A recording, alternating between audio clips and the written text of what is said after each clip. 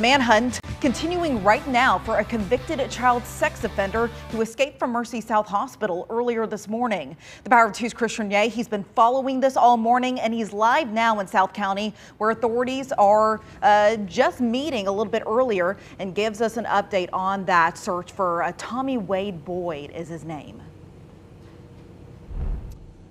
Amelia, good morning to you. We are just outside of Mercy South Hospital here off Tesson Ferry, not too far from I-270. The main staging area for authorities is right behind us here inside that medical building. Authorities telling us about an hour ago that local, state, and federal law officers are all involved with the search for Boyd at this hour, both in the air and on the ground. However, at this point, investigators acknowledge that there have been no sightings of Boyd since he escaped from the hospital here very early this morning.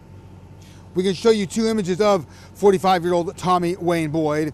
On the left side of your screen is a surveillance image of from the morning.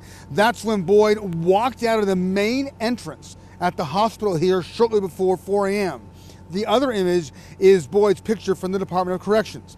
A hospital spokesperson, Joe Pelker, says Boyd was in the custody of two state corrections officers when he escaped. Pelker telling there was no physical confrontation and no one was hurt. Investigators say Boyd is currently serving a 30 year sentence for statutory sodomy at the Correctional Facility and was taken here yesterday for some sort of medical treatment. Boyd is 5 feet 7 inches tall, 154 pounds, with balding hair and a beard. He was last seen wearing a black sweatshirt, a black jacket, and orange slippers.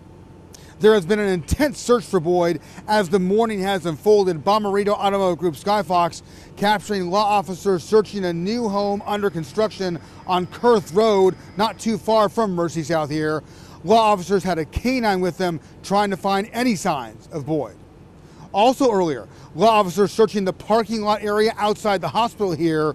We captured a Missouri Highway Patrol trooper basically going car to car, looking in all of the vehicles for Boyd. Take a listen to some of what St. Louis County Police told us a little earlier about Boyd this morning.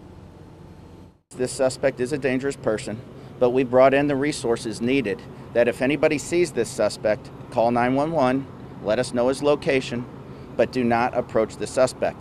But I want you to know that we have brought in all the resources needed to respond immediately and effectively.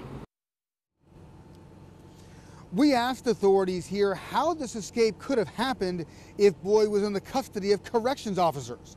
County Police referred us to the Department of Corrections, and we are still trying to get answers from them at this hour.